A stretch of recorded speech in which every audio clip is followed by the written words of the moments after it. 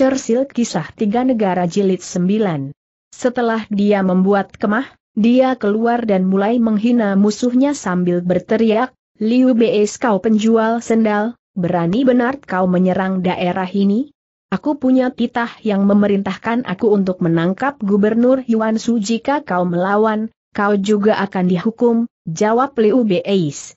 Jiling yang marah langsung berkuda dan mengangkat senjatanya tetapi Guan Yeu berteriak, manusia bodoh, kau mau mati. Dan Guan Yeu maju untuk menghadapinya kedua bertarung dan setelah 3-0 jurus tidak ada yang menang lalu Jiling kembali untuk beristirahat dan Guan Yeu pun melakukan hal yang sama dan menunggu Jiling kembali.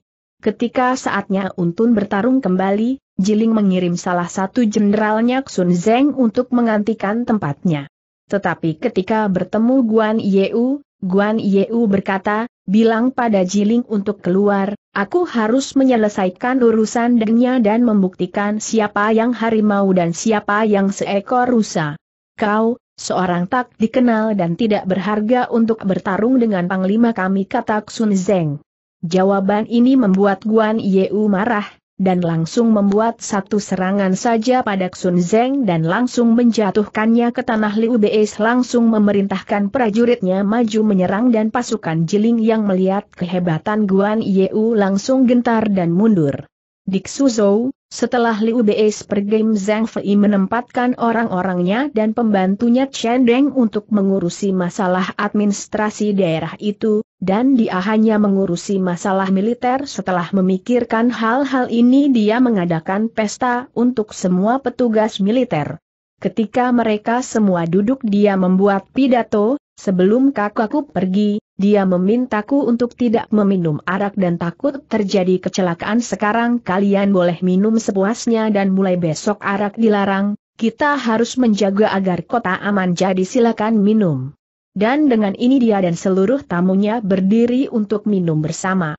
Pembawa arak datang dan Cao Bao menolak untuk minum, berkata, aku tidak minum arak karena agama melarangku. Apa seorang pria tidak bisa minum arak kata Zhang Fei? Aku ingin kau minum satu cangkir saja, Cao Bao takut menghina, lalu dia minum. Sekarang Zhang Fei minum satu gentong penuh akhirnya dia mabuk tetapi dia ingin minum lagi dan menyuruh tamunya minum satu cangkir lagi dan Cao Bao menolaknya. Kau telah meminumnya tadi, dan sekarang mengapa kau menolaknya? Zhang Fei memaksanya dan Cao Bao tetap menolak.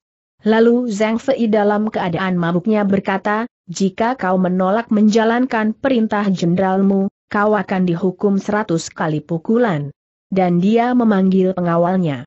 Di sini Chen Deng mencegah dan berkata, apakah kau ingat mengenai larangan kakakmu sebelum dia pergi kau orang sipil, uruslah masalah sipil dan tinggalkan kami sendiri, kata Zhang Fei. Satu-satunya jalan untuk lolos adalah meminta remisi dan Cao Bai melakukan itu dan berkata, Tuan, maukah kau memandang menantuku sehingga kau memaafkanku? Siapakah menantumu Lubu JWB Cao Bao? Aku tidak bermaksud menghajarmu sebetulnya tetapi jika kau berpikir aku takut pada lubum aku akan menghajarmu seperti aku menghajarnya kata Zhang Fei. Tamu-tamu yang lainnya memohon agar Cao Bao dilepaskan tetapi Zhang Fei yang telah mabuk berat tidak mendengarkan dan Cao Bao menerima 50 pukulan yang dilakukan oleh Zhang Fei sendiri dan hanya karena Zhang Fei sudah sangat mabuknya sehingga dia sudah tidak bisa lagi memukul maka hukuman Cao Bao dikurangi. Perjamuan itu berakhir dan Cao Bao yang dihakar Zhang Fei pergi dengan kemarahan malam itu dia mengirim surat ke Xia Opei menceritakan penghinaan ini dan di dalam surat dia menceritakan bahwa Liu Bei sedang pergi dan mengusulkan agar serangan tiba-tiba dilakukan malam ini ketika Zhang Fei sedang mabuk berat dan tertidur Lubu segera memanggil Chen Gong dan berdiskusi. Xia Opei hanyalah tempat sementara, kata Chen Gong, jika kau dapat merebut Suzhou, itu adalah sebuah kesempatan yang baik. Lumbu dengan segera bersiap dan secepatnya dia membawa 5.000 pasukan berkuda dan memerintahkan Chen Gong dan Gao Sun mengikutinya DGN membawa 20.000 pasukan utama. Xia Open hanyalah berjarak 15 km jauhnya dari Xuzhou Ulu Bu telah berada di bawah tembok kota, malam itu bulan bersinar terang dan tidak ada penjaga yang melihatnya. Lubu mendekat dan berteriak, perintah rahasia dari Liu tiba. Penjaga tembok adalah orang-orang Cao Bao dan mereka memberitahu padanya Cao Bao datang dan ketika melihat siapakah yang di sana, dia langsung menyuruh membuka gerbang lubu memberikan signal rahasia dan pasukannya masuk sambil berteriak. Zhang Fei di dalam ruangannya tertidur langsung dibangunkan pengawalnya dan berkata bahwa musuh telah memasuki kota. Mereka berkata, Lubu telah masuk kota dan berperang di dalam. Zhang Fei segera memakai pakaian perangnya dan mengambil senjatanya serta naik ke kuda. Tetapi karena dia masih dalam keadaan mabuk maka kemampuan perangnya tidak maksimal. Lubu yang mengetahui hal ini tidak menyerangnya dengan sekuat tenaga dan Zhang Fei dibiarkan lolos dan kabur dengan 18 pengawal darian, dia kabur ke gerbang timur dan pergi meninggalkan keluarga Liu Beis dan menyerahkan mereka pada nasib. Kau Bao melihat Zhang Fei hanya membawa pasukan kecil dan masih satu dua mabuk, datang mengejar Zhang Fei yang melihat siapa yang mengejar menjadi sangat marah. Dia memacu kudanya kepada Cao Bao dan memukul mundur. Dia mengikuti Cao Bao ke parit dan melukainya di punggungnya. Kuda Cao Bao yang ketakutan akibat teriakan Zhang Fei membawa tuannya ke dalam parti dan dia mati tenggelam. Di luar tembok kotanya Zhang Fei mengumpulkan pasukan dan mereka berkuda ke arah selatan. Lubu setelah menjutkan kota langsung mengendalikan keadaan dia menempatkan penjaga di kediaman Liu Beis dan tidak boleh seorang pun mengganggu mereka. Zhang Fei dan beberapa pengikutnya pergi ke kemah kakaknya Diak Suyi dan menceritakan kisahnya semua langsung gelisah. Keberhasilan tidak patut dirayakan dan kekalah tidak patut disesali, kata Liu Bei sambil menghela napas dan berusaha menenangkan Zhang Fei yang menangis menyesal. Di mana keluarga kakak kita tanya Guan Yeu? Mereka ku tinggal di dalam kota dan aku tidak tahu bagaimana keadaannya, jawab Sang Fei yang tidak berani mengangkat kepalanya untuk melihat Guan Yeu. Liu Bei hanya dapat tertunduk lesu dan diam, dari matanya terlihat bahwa dia sedih dan khawatir. Guan Yeu yang berusaha untuk tidak marah dan menghajar Zhang Fei, berkata, apa yang kau katakan ketika kau berjanji menjaga kota apa perintah yang kakak berikan untukmu sekarang kota telah hilang dan begitu juga dengan kakak ipar dan yang lainnya apakah kamu puas sekarang? Zhang Fei yang diliputi rasa penyesalan yang sangat hanya bisa berlutut dan menangis di depan Guan Yeu dan Liu Beis dia mengambil pedang untuk membunuh dirinya sendiri. Tetapi Liu Beis langsung mengambil pedang itu dan membuangnya ke tanah dan langsung menyuruh adiknya yang sedang menangis penuh penyesalan itu berdiri dan langsung memegang tangannya. Liu Beis berkata, pepatah mengatakan, saudara ada seperti tangan dan kaki, istri dan anak adalah seperti pakaian kau dapat menjahit pakaian yang robek, tetapi bagaimana memasang tangan dan kaki koma kita bertiga telah bersumpah sebagai saudara walaupun tidak dilahirkan pada hari yang sama tetapi bersedia mati pada hari yang sama kota telah hilang, istri dan anakku tidak tahu bagaimana nasibnya, tetapi aku tidak mau salah satu dari kita ada ikmati dan meninggalkan semua rencana kita lagi pula, Suzhou bukanlah milik kita dan Lubu tidak akan melukai keluargaku tapi tidak akan menjaganya kau membuat kesalahan, adikku, tetapi apakah itu sepadan dengan nyawamu? Dan Liu Beis pun menangis mereka bertiga akhirnya menangis bersama dan orang-orang di sana tergerak oleh kejadian ini dan ikut terharu. Segera berita mengenai keberhasilan Lubu mengambil daerah Xuzhou terdengar oleh Yuan Su Yuan Su mengirim pesan yang isinya akan memberikan hadiah untuk membujuk Lubu jika melakukan serangan bersama kepada Liu Beis hadiah itu berupa 50 ribu peti beras, 500 kuda, 10 ribu ons emas dan perak dan 1000 rol sutra. Lumbu memakan umpan itu dan memerintahkan Gao Sun memimpin 50 ribu pasukan tetapi ketika Liu Beis mendengar tentang penyerangan itu, dia membuat alasan untuk memindahkan pasukannya karena alasan cuaca untuk memindahkan pasukannya dari Xuyi ke Guangling sebelum pasukan penyerang datang. Gao Sun kemudian meminta hadiah seperti yang dijanjikan, melalui Jiling dia menyatakan permohonannya, Jiling berkata, Tuanku sedang pergi, aku akan menyelesaikan masalah ini setelah aku bertemu dengannya.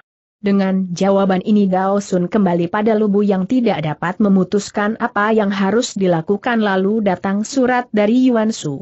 Walaupun Gao Sun telah menyerang Li Ubeis, tetapi Liu Beis tidak berhasil ditangkap dan karena itu tidak ada hadiah yang akan diberikan sampai dia benar-benar tertangkap.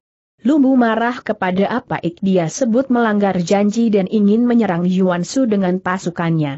Chen Gong menasehatinya dan berkata, Janagan kau lakukan itu, Yuan Su menguasai Shou Chun dan mempunyai pasukan besar, dengan persediaan cukup kau bukanlah lawannya lebih baik minta Liu Beis untuk berdiam di Xia Opei sebagai salah satu sayapmu dan ketika waktunya tiba, minta dia memimpin penyerangan.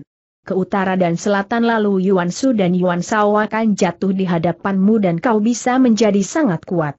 Melihat usul ini bagus, Lubu mengirim surat dan memintanya kembali. Setelah Liu Beis pergi, Yuan Su menyerang Guang Ling dan mengurangi pasukan Liu Beis menjadi satu duanya ketika utusan dari Lubu tiba, Liu Beis membaca suratnya dia cukup senang dengan isi suratnya, tetapi saudaranya tidak mempercayai niat Lubu. Seorang yang tidak memiliki kehormatan, pasti mempunyai motivasi lain, kata Guan Yeu dan Zheng Fei. Karena dia memperlakukan aku dengan baik, aku tidak bisa tidak mempercayainya, jawab Liu Beis. Lalu Liu Beis kembali ke Xuzhou, Lubu takut bahwa Liu Beis tidak mempercayainya, mengembalikan keluarga Liu Beis dan ketika Lady Gan dan Lady Mi melihat suaminya itu, mereka mengatakan bahwa mereka telah diperlakukan dengan baik dan dijaga oleh pengawal sehingga terhindar dari bahaya dan perbekalan serta apa pun selalu diberikan dan tidak kekurangan. Aku tahu dia tidak akan menyakiti keluargaku, kata Liu Beis kepada Guan Yeu dan Zhang Fei. Zhang Fei tidak senang tidak mau menemai Liu Beis dan Guan Yeu masuk ke dalam kota, Liu Beis dan Guan Yeu masuk ke dalam kota untuk berterima kasih pada Lubu dan Zheng Fei mengawal kedua kakak ipar mereka ke Xiaopei. Dalam pembicaraan Lubu berkata, aku tidak berharap untuk mengambil kota ini, tetapi adikmu telah bersikap sangat buruk, mabuk dan memukuli tentara dan aku datang untuk menjaganya karena khawatir hal yang buruk akan terjadi tetapi aku telah lama ingin memirahkannya padamu kata Liu Beis. Lumbu lalu meminta Liu Beis mengambil kembali daerah itu dan Liu Beis selalu menolaknya Liu Beis berpamitan dan kembali ke Xiaopei, tetapi kedua saudaranya itu tidak mau menyudahi masalah ini dan bersikap tidak senang. Kata Liu Beis, orang harus bisa mengerti takdirnya ini adalah kehendak langit dan kita tidak dapat melawannya. Lumbu menghadiahkan makanan dan barang-barang lainnya dan dia berdamai dengan Liu Beis. Di Chun, Yuan Su menyiapkan perjamuan untuk pasukannya yang berhasil mengalahkan Lugang, Gubernur di Lujiang Yuan Su memanggil panglimanya itu dan dia adalah Sanche yang langsung bersujud memberi hormat dan memintanya menceritakan peperangan itu. Setelah kematian ayahnya, Sanche kembali ke dataran selatan di mana dia mengumpulkan orang-orang pintar dan bijak. Setelah itu, pertikaian timbul antara kakak dari ibunya, Gubernur Dang Yang yang bernama Wu Jing dan almarhum pelindung kekaisaran wilayah Xuzhou, Tao Qian Sanche membawa ibunya pergi ke kue di mana dia akhirnya harus bekerja pada Yuan Su dan sangat mengaguminya dan mencintainya sangat. Jika aku mempunyai anak seperti dia, mati pun aku akan tenang, kata Yuan Su.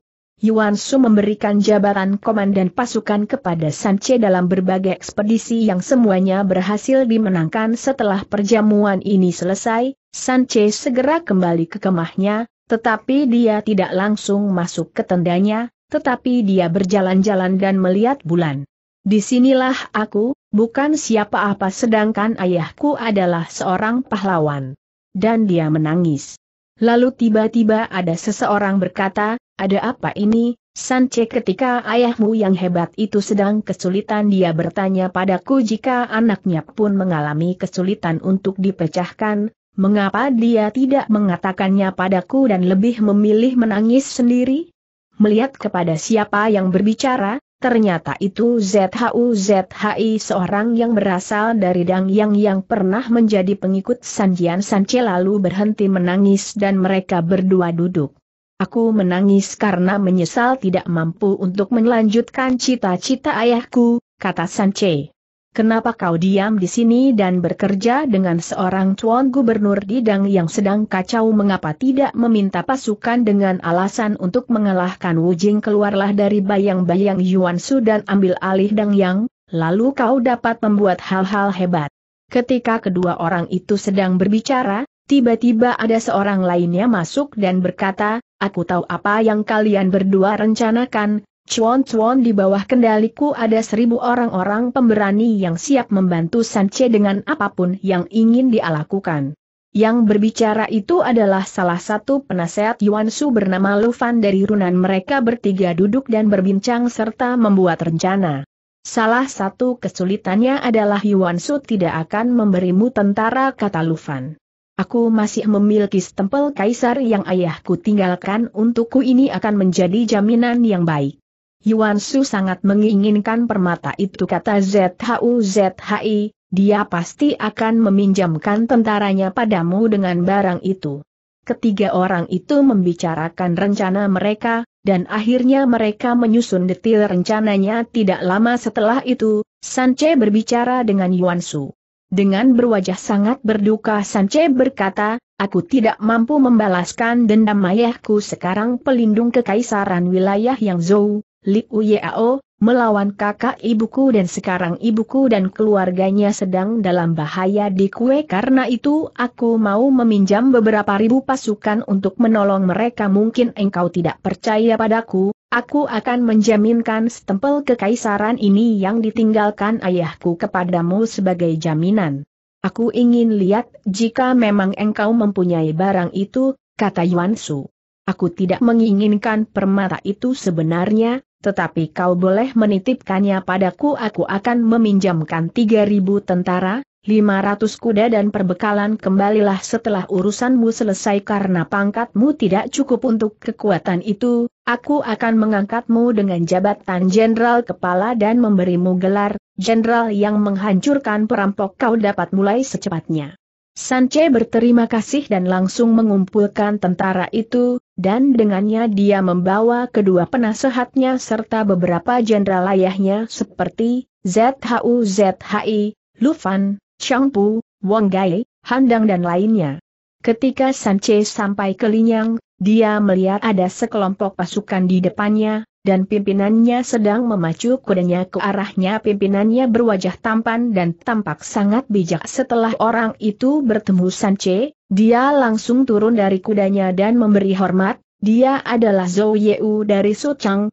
Ketika Sanjian melawan Dang Zuo, dia memindahkan keluarganya ke Suchang di mana keluarga Zhou Yeu tinggal. Zhou Yeu dan Sanche berumur hampir sama, dan hanya berbeda dua bulan, mereka menjadi sahabat dan saudara angkat dan Sanche menjadi kakak karena dia lebih tua dua bulan. Sanche dan Zhou Yeu memiliki kepribadian yang berbeda. Sanche senang berlatih tombak dan memanah, sedangkan Zhou Yeu lebih suka belajar dan membaca. Sanche pernah suatu kali berkata, buku tidak akan menyelamatkan nyawamu dalam perang. Koma tetapi Zhou Yeu berkata, ini tidak bisa menyelamatkan nyawa dalam perang, tetapi bisa membuatmu menjadi seorang kaisar. Sanche menceritakan mengenai rencananya dan idenya kepada sahabatnya itu yang langsung berkata, aku akan menyerahkan seluruh hidupku dan tenagaku untuk melayanimu mencapai tujuan besar itu. Sekarang karena kau telah tiba, rencana ini seperti telah selesai dibuat, kata Sanche Zhou Yeu diperkenalkan pada ZHU ZHI dan Lufan. Zhou Yeu berkata, apakah kau mengenal kedua Zhang dari Guanling mereka akan menjadi orang yang sangat berguna bagimu dalam menjalankan rencanamu. Siapa mereka tanya Sanche. Mereka adalah orang yang sangat jenius, yang tinggal di dekat sini mereka menghindar dari dunia luar yang penuh kekacauan ini dan berdiam di gunung nama mereka adalah Zheng Zhao dan Zheng Hang kenapa tidak mengundang mereka untuk membantumu? Sanche langsung mengirimkan undangan dan hadiah, tetapi keduanya menolak dan dia langsung mengunjungi mereka berdua, dan dia sangat terkagum-kagum atas wawasan mereka dan dia memohon agar mereka mau membantunya. Akhirnya kedua orang itu mau membantu Sanche. Sanche menunjuk mereka sebagai penasehat dan asisten jenderal. Sanche memanggil semua penasehat dan jenderalnya untuk membicarakan penyerangan ke wilayah yang Zhou pelindung kekaisaran wilayah yang Zhou adalah Liu Yao yang juga masih kerabat kaisar dan kakak dari pelindung kekaisaran wilayah yang Zhou. Liu Dai Liu Yai telah lama memerintah di Yangzhou dan bermarkas di Chun, tetapi Wan Su memaksanya untuk lari ke sebelah tenggara dia menduduki kue dan sekarang sedang melawan Wu Jing di Linyang. Mendengar ada tentara lain mendekat, Liu Yao memanggil jenderalnya. Kaya Jenderal Zhang Ying, aku akan membawa pasukan dan melawan mereka di Niuzu tidak ada pasukan yang akan dapat melewati daerah itu, berapa besar pun kekuatannya.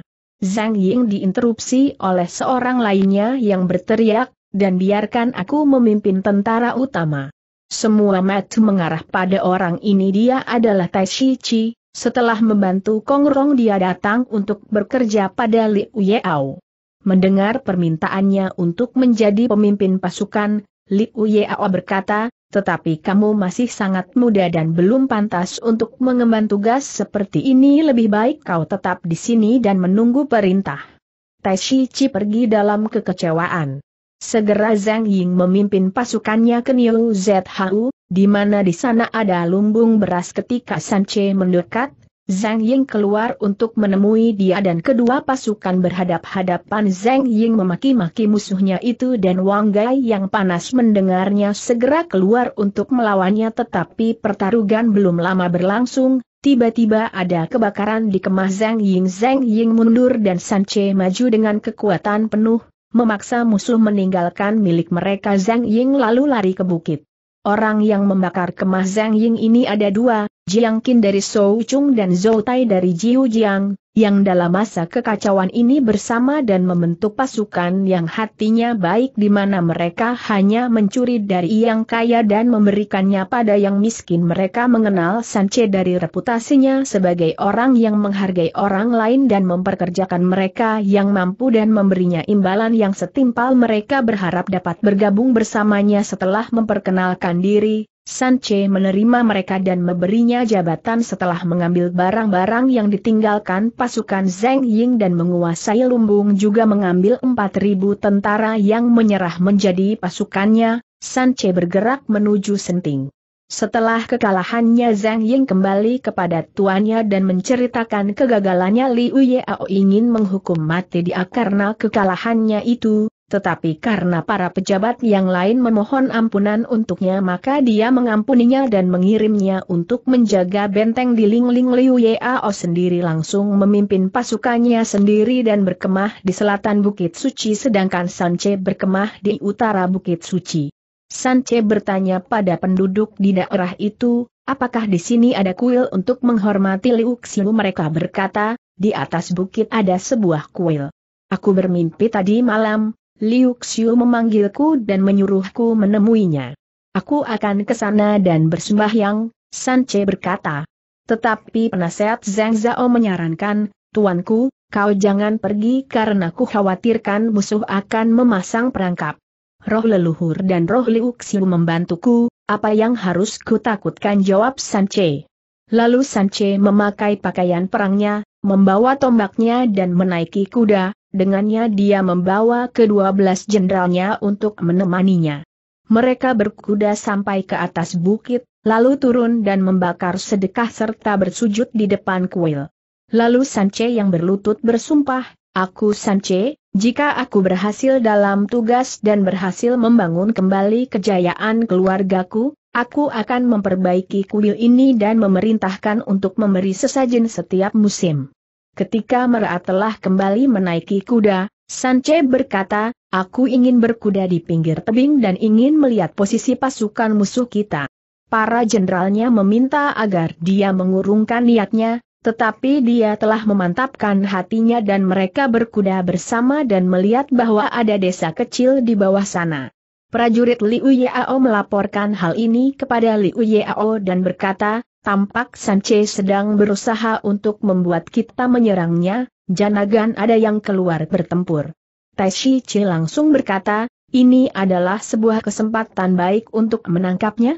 Lalu tanpa perintah dia segera mempersenjatai dirinya dan berkuda keluar kemah, jika memang ada orang pemberani di antara kalian, ikutlah denganku. Tidak ada yang mengikutinya karena melihat seorang komandan DGN pangkat rendah, tetapi ada satu orang yang berkata, dia adalah pria pemberani dan aku akan ikut dengannya. Jadi dia ikut pergi, yang lain hanya mentertawai mereka berdua. Sekarang setelah melihat semua yang diinginkannya, Sanche berpikir sudah waktunya kembali dan ketika dalam perjalanan turun, seseorang berteriak, diam di situ Sanche. Sanche berbalik dan dua pengendara kuda tiba. Sanche menyuruh para jenderalnya untuk diam dan dia dengan tombaknya maju ke depan. Siapa yang bernama Sanche teriak Tai Shichi.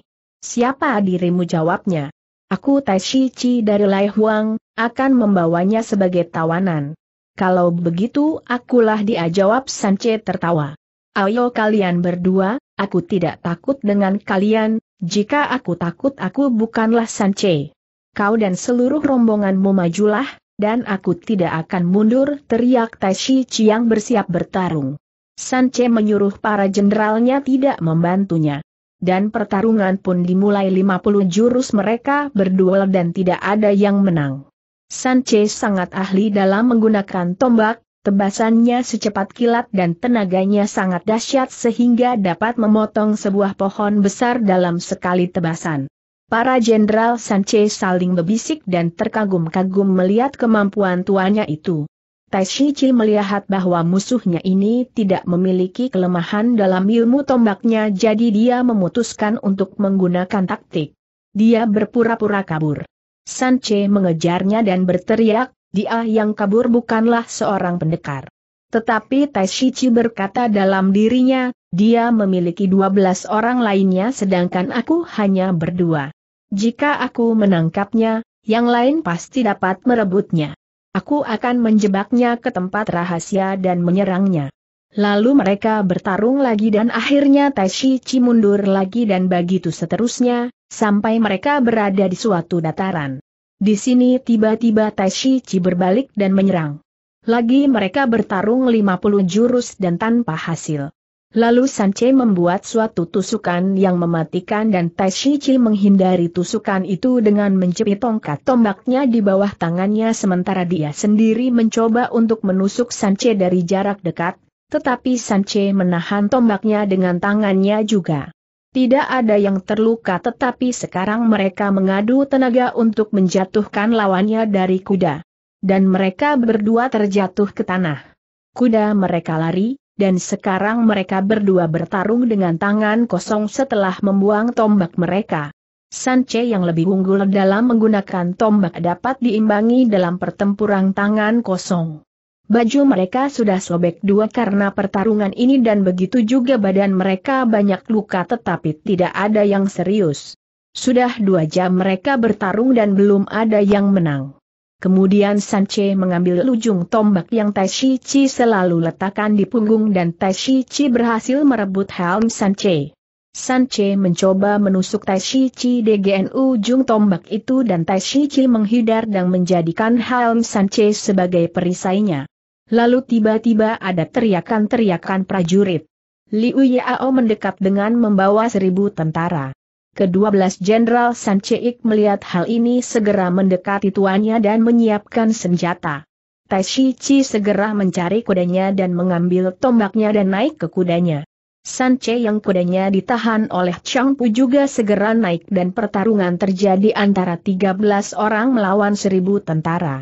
Tetapi, Zhou Yeu yang telah bersiap-siap sebelumnya segera keluar dari tempat persembunyiannya dan menolong Sanche dan ketika malam hari tiba, pertempuran pun berakhir. Kedua pihak mundur dan kembali ke kemah masing-masing. Keesokan harinya Sanche memimpin pasukannya ke depan kemah Liu Yao dan menantangnya bertempur. Kedua pasukan berhadapan dalam formasi tempurnya. Sanche menggantungkan ujung tombak dari tombak Tai Chi dan mengangkatnya tinggi-tinggi dan memerintahkan pasukannya untuk berteriak, jika orang yang mempunyai benda ini tidak pergi, dia telah mati tertusuk benda ini. Di sisi-sisi lain mereka mengantung Helm Sanchen yang berhasil direbut dan para prajurit berteriak juga, kepala Sanche telah ada di tempat ini. Kedua pihak saling memaki dan memanas-manasi. Lalu Tai Shi maju ke depan dan menantang Sanche untuk berduel dan Sanche menyetujui. Tetapi Chang Pu berkata, Chuanku tidak perlu mengotori tangan tuanku, biarkan aku menghadapinya dan Chang Pu pun maju. Kau bukanlah lawanku, kata Tai Shi suruh tuanmu keluar. Ini membuat Chang Pu marah dan dia langsung maju menyerang, mereka berdua bertempur sebanyak 30 jurus. Duel itu dihentikan karena ada tanda dari Liu Yao. Kenapa kau menyuruhku mundur kata Tai Shi aku baru saja akan menangkap bajingan itu. Karena aku baru mendengar kue telah berhasil direbut. Zhou Yeu telah memimpin pasukan kecil dan Chen Wu yang berada di dalam kota ternyata telah berkomplot dengannya. Kita TDK ada tempat untuk kembali sekarang.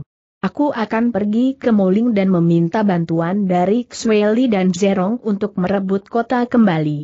Pasukan mundur dan Tai Shichi mengikuti mereka tanpa dikejar. Di sisi-sisi lain, Zhang Zhao berkata pada Sanche, Zhou Yeu menjalankan strateginya dan berhasil merebut kota, ini yang menyebabkan mereka mundur. Mereka sedang tidak ada semangat saat ini. Serangan tiba-tiba pada malam hari akan menghancurkan mereka semua. Pasukan dibagi menjadi lima bagian masing-masing berkekuatan seribu prajurit. Mereka menyerang malam itu dan berhasil memperoleh kemenangan, pasukan musuh berlarian ke segala arah. Tai Chi sendirian berusaha mempertahankan kemah dan karena dia tidak bisa menahan seluruh pasukan, dia kabur bersama sepuluh penunggang kuda lainnya ke Jingxian. Sekarang Sanche telah mendapat pengikut baru bernama Chen Wu. Dia adalah seorang petarung dengan tinggi hampir 2 meter. Matanya merah dan tulangnya kekar. Sanche memberikan penghargaan yang tinggi padanya dan mengangkatnya menjadi komandan pasukan.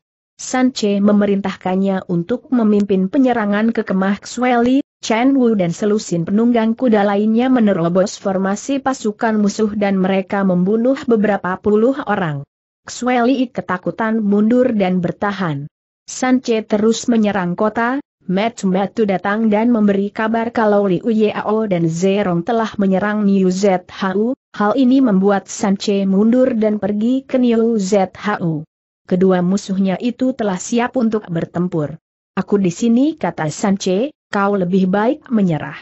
Seorang jenderal keluar dari balik Liu Yao untuk menjawab tantangan Sanche, dia adalah Yeumi. Tetapi hanya tiga jurus saja, Sanche sudah menangkapnya. Melihat hal ini, Faneng maju dan mau menyelamatkan rekannya. Tetapi ketika dia telah cukup dekat dan akan menusukkan tombaknya pada Sanche yang sedang berbalik, prajurit-prajurit Sanche berteriak, Tuan, ada orang di belakangmu yang akan menyerangmu diam-diam. Sanche langsung berbalik dan berteriak keras-keras sehingga membuat Faneng terkejut dan jatuh, kepalanya pecah dan diamati. Ketika Sanche telah balik ke pasukannya dia membawa tawanannya itu. Ternyata Yeyumi juga telah mati karena Sanche memegangnya terlalu keras. Jadi dalam sejenak, Sanche telah menyingkirkan kedua musuh yaitu, satu karena ketakutan dan satu karena tulangnya hancur akibat cengkraman Sanche. Sejak saat itu Sanche dijuluki, penakluk muda. Liu Yao berhasil dikalahkan, dan banyak pasukannya yang menyerah dan pasukan yang mati berjumlah lebih dari 10.000 prajurit. Liu Yao sendiri lari ke Yeu Zhang dan meminta perlindungan Liu Biao, pelindung kekaisaran wilayah Jingzhou. Penyerangan ke Moling adalah langkah selanjutnya. Segera setelah Sanche tiba di pinggir parit-parit benteng. Dia berteriak meminta Xweli yang mempertahankan kota untuk menyerah. Seseorang memanah pada Sanche yang melukai Sanche pada paha kanannya dan dia terjatuh dari kuda. Dengan cepat para jenderalnya segera membawanya dan mengembalikannya ke kemah mereka. Ketika panahnya dicabut keluar dan lukanya pun segera diobati. Dengan perintah Sanche, cerita itu disebarkan keluar bahwa lukanya adalah fatal dan semua prajurit menangis sedih. Kemah dibubarkan. Xweli, Zhang Ying dan Chen Heng membuat serangan malam tiba-tiba, tetapi alangkah terkejutnya mereka ketika mereka mengetahui bahwa mereka masuk dalam perangkap. Sanche muncul dan duduk di atas kudanya, berteriak. Sanche ada di sini. Kemunculannya yang tiba-tiba membuat panik pasukan musuh dan banyak prajurit musuh yang langsung menyerah.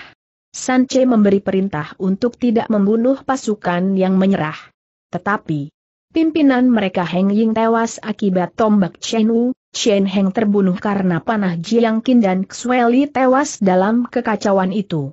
Karena itu Sanche berhasil merebut Moling. Setelah menenangkan rakyat, dia mengirim pasukannya ke Jingxian di mana Tai Shichi memegang komando.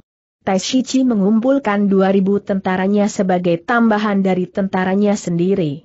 Dia berharap dapat membalaskan kekalahan tuannya itu. Sanche dan Zhou Yeu berdiskusi bagaimana caranya untuk menangkap Tai Shichi hidup-hidup. Zhou Yeu merencanakan, serang kota dari tiga sisi dan biarkan sisi timur terbuka untuk lari. Lalu pasanglah jebakan, ketika Tai Shi lewat dia akan dapat kita tangkap. Pasukan Tai Shi yang baru itu kebanyakan berasal dari bukit dan tidak berdisiplin. Lagi pula, tembok kota sangat rendah. Pada suatu malam Sanche memerintahkan Chen Wu untuk memanjang tembok kota dan membakar kota.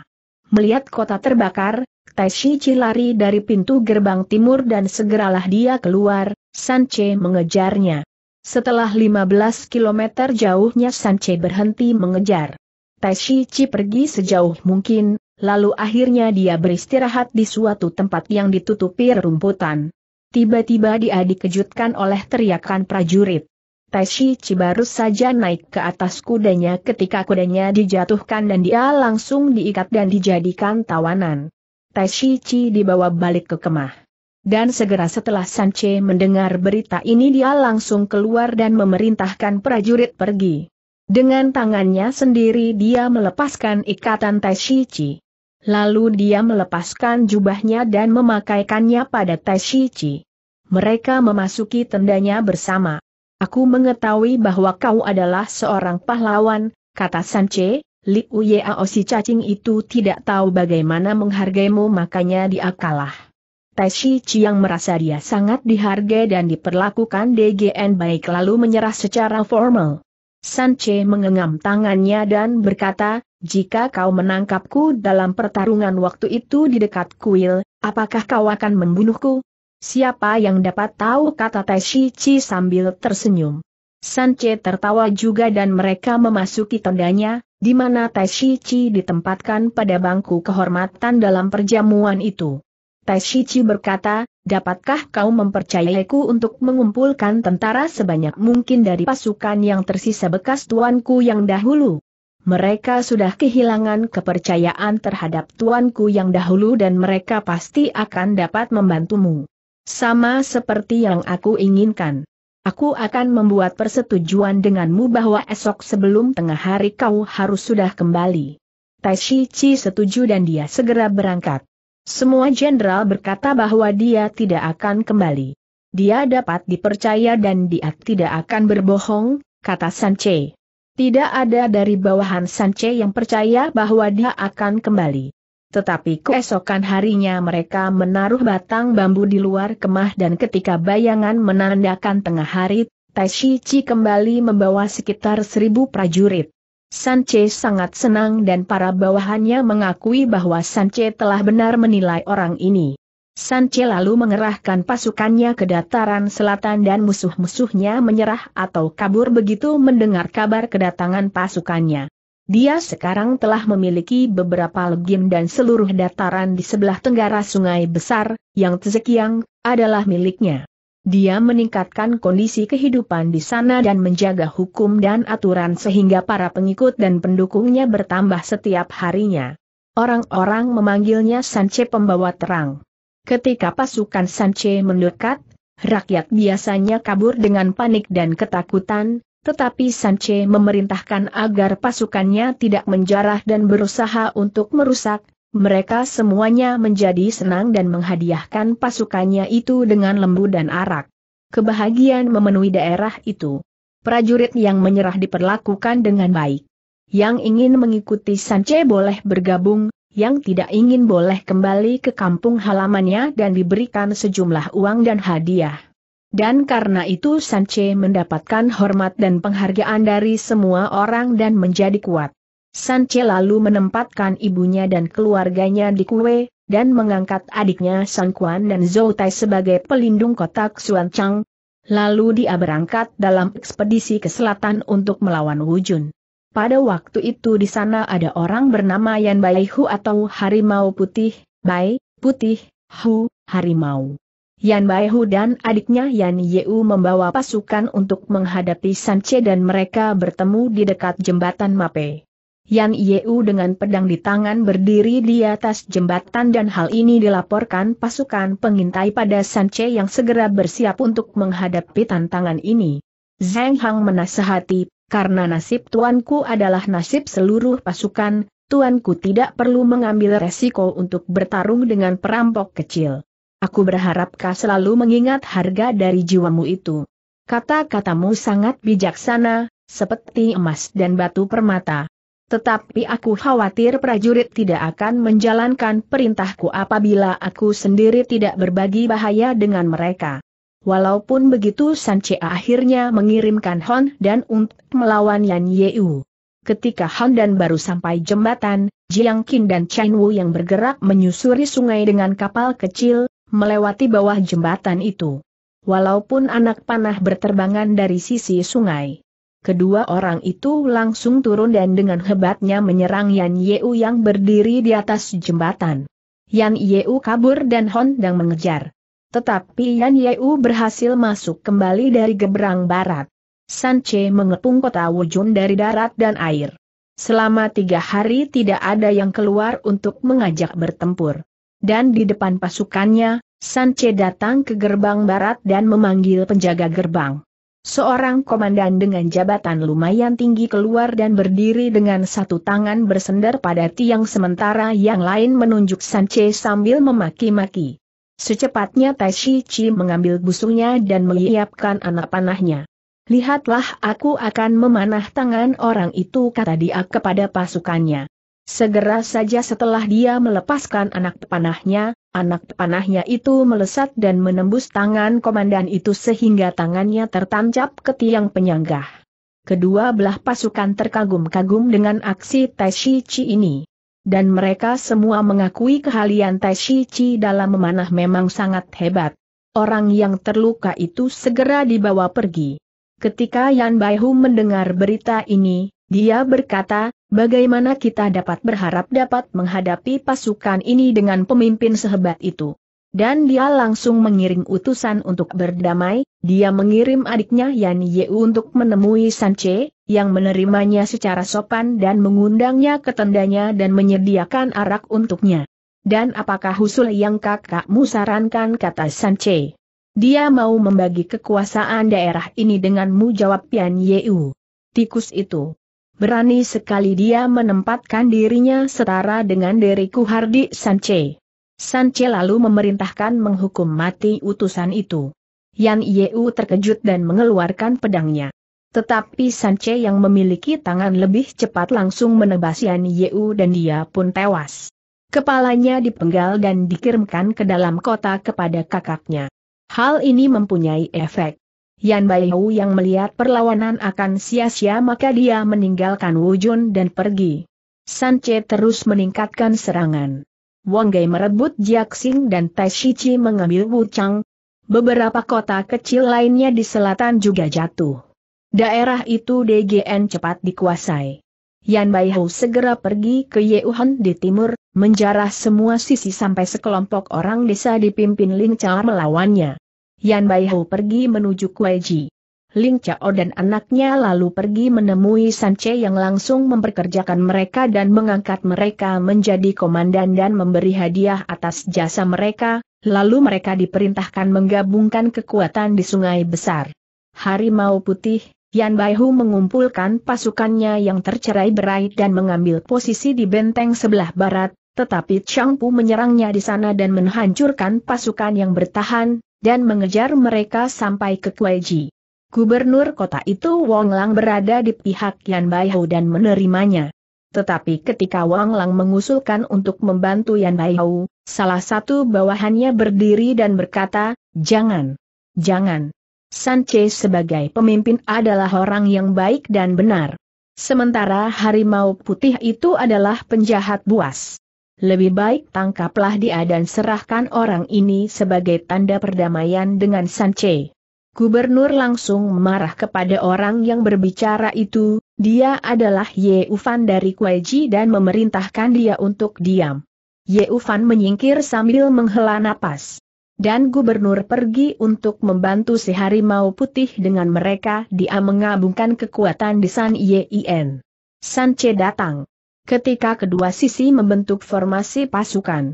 Sanche keluar dari formasi dan berkata kepada Wang Lang, pasukanku adalah pasukan dari prajurit yang baik, dan tujuanku adalah menjaga perdamaian di daerah ini. Tetapi mengapa kau memberikan dukunganmu kepada seorang pemberontak? Wang Lang menjawab, keserakahanmu sudah terkenal. Setelah menguasai wujud kau juga menginginkan daerahku. Aku akan membalaskan dendam keluarga Yan. Respon ini membuat Sanche marah. Ketika pertempuran akan dimulai, Taishi Cimaju dan Wong Lang menyambutnya dengan pedangnya. Baru beberapa jurus saja, Zhou Xin datang untuk menolong Wong Lang. Lalu Wang Gai membantu dan keempat orang itu berduel. Lalu genderang perang berbunyi dan kedua pasukan pun akhirnya bertempur.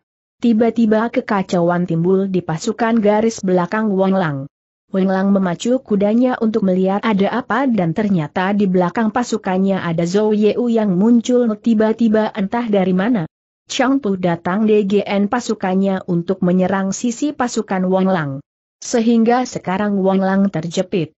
Dia, Yan Baihu dan Zoksin bertarung mati-matian dan berhasil menerobos pasukan musuh dan mereka bertiga kembali ke dalam benteng mereka. Jembatan gantung dinaikkan, gerbang ditutup dan persiapan dilakukan untuk berperang dari dalam benteng. Sanche mengikuti sampai sisi tembok dan membagi pasukannya untuk menyerang dari keempat sisi benteng.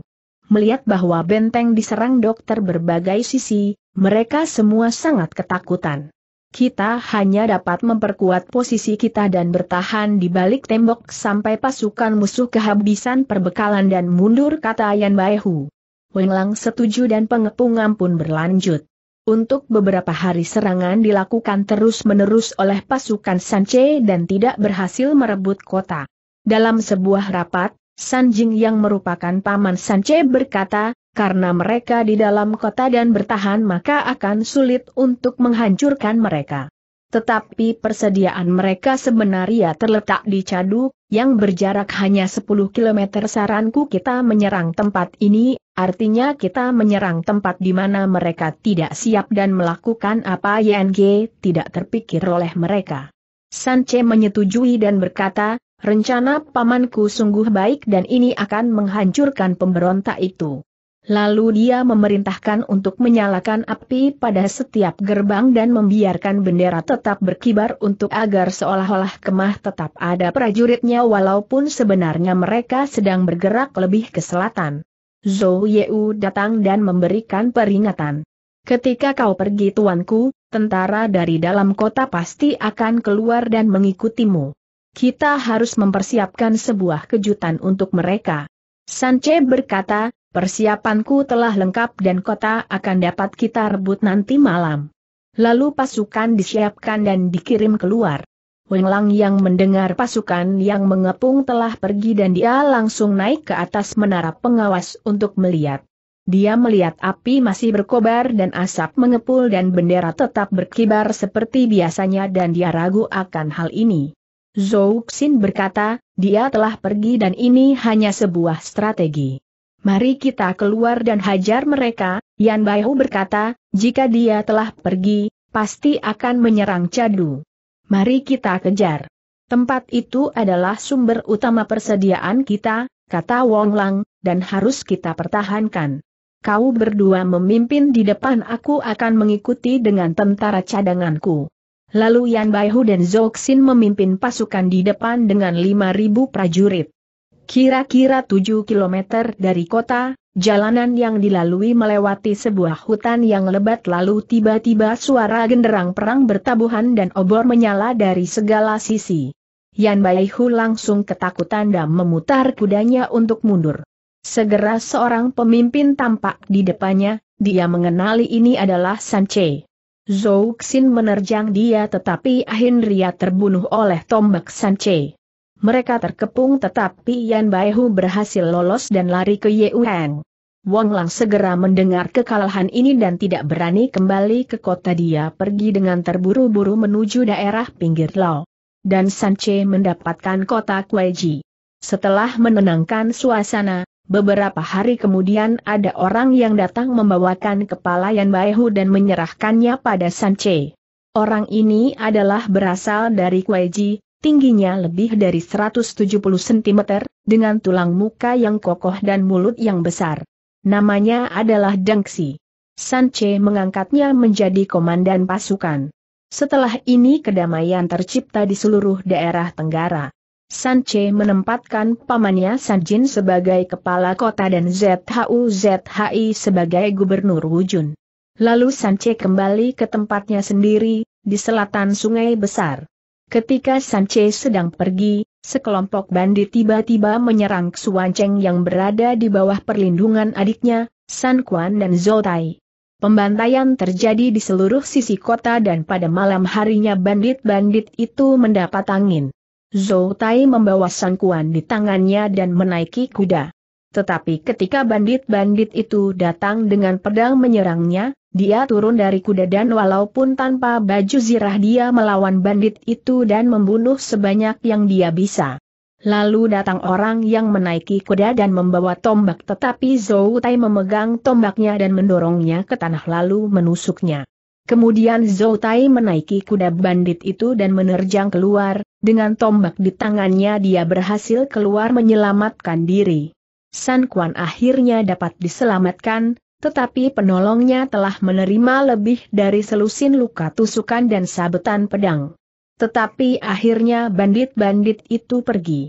Luka-luka ini karena terlalu parah ternyata tidak dapat sembuh dengan sendirinya dan akhirnya bengkak serta bernanah dan komandan yang gagah itu hidupnya kritis. Sanche yang kembali melihat keadaan ini sungguh sedih. Lalu Dangxi datang dan berkata, pernah suatu kali dalam pertempuran dengan bajak laut aku menerima banyak tusukan tombak. Tetapi ada orang bijak bernama Ye Ufan merekomendasikan tabib yang dapat menyembuhkanku dalam satu dua bulan. Pasti itu adalah Ye Ufan dari Kueji jawab Sanche, itu adalah dia, Cepatlah panggil dia ya, dia adalah orang bijaksana, aku akan memperkerjakannya. Lalu Sanche mengirim dua orang untuk mengundang Ye Ufan dan dia segera datang. Dia diperlakukan dengan sangat baik dan diangkat menjadi pejabat di bawah Sanche. Lalu pertanyaan mengenai merawat orang terluka ditanyakan Sanche. Tabib itu atuh Watuo dari Kiao, yang sangat hebat dalam ilmu pengobatan. Aku akan membawanya kemari menemuimu, kata Ye Ufan. Lalu Hwatuo yang terkenal itu tiba, pria dengan perawakan sedang-sedang saja dan berjanggut putih. Dia lebih terlihat seperti seorang suci dibandingkan seorang tabib. Dia diperlakukan dengan baik dan dibawa menemui Zautai. Ahaha.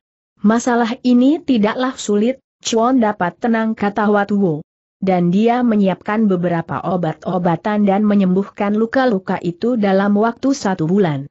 Sanche sangat mengagumi keahliannya dan dia diberikan hadiah sangat besar sebelum berpamitan.